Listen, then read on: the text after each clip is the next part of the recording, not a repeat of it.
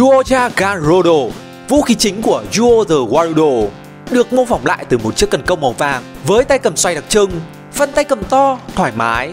Phần khối hộp ở giữa đặc trưng với hình ảnh của bộ ba nhà Warudo, xoay được cần câu luôn nhá.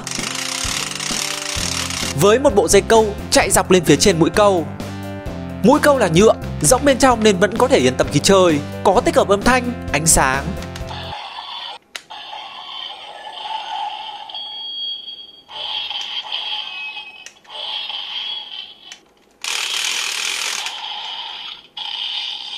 và có thể thay đổi sang hình dạng thứ hai. Một cây thương, sức mạnh đến từ loài cá sấu, nhấn giữ con súng để thực hiện chiều tất sát.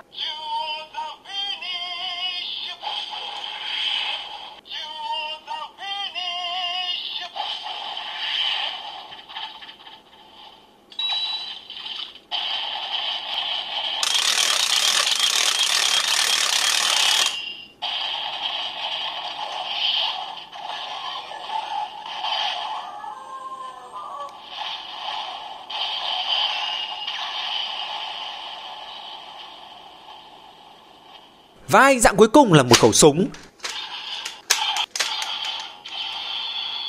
Nhanh nhẹn đến từ loài sói.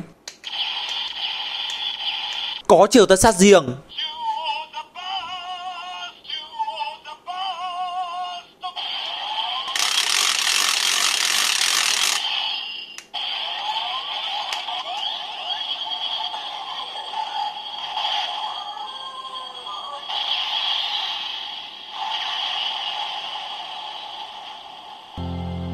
Ý tưởng thì khá là hay, cũng có những sự phá cách nhất định.